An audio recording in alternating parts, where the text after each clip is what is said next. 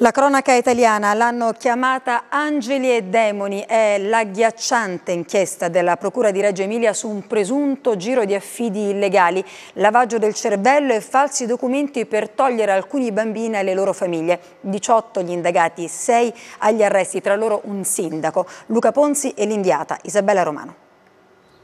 La chiamavano la macchinetta dei ricordi, elettrodi attaccati alle caviglie dei bambini per stimolarli a dire quello che gli assistenti sociali volevano sentire.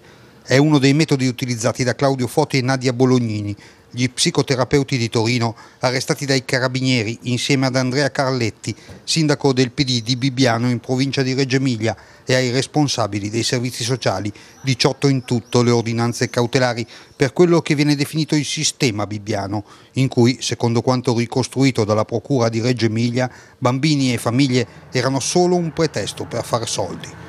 L'obiettivo era quello di creare una struttura per accogliere i minori vittime d'abusi da tutta Italia, con una retta a carico del Servizio Sanitario Nazionale di 250 euro al giorno. Per farlo ogni artificio era valido, anche aggiungere dettagli sessuali ai disegni dei bambini per convincere i periti del Tribunale dei minori che avessero subito violenza e poi tenerli lontani da papà e mamma naturali.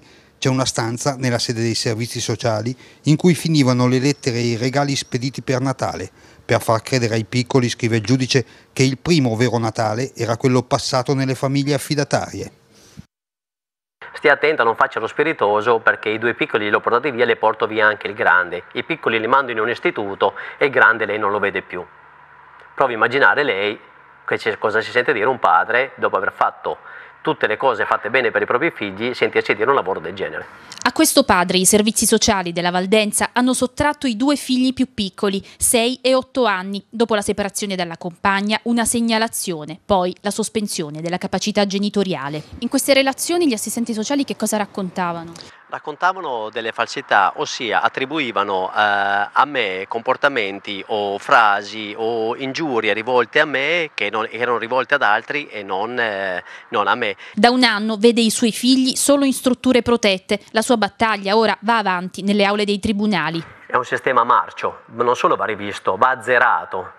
Finché girano soldi sulla speculazione dei bambini eh, non si va da nessuna parte. Lei ora cosa si aspetta? Mi aspetto giustizia, verità, ma soprattutto arrivare a casa, arrivare a casa i miei figli il più presto possibile.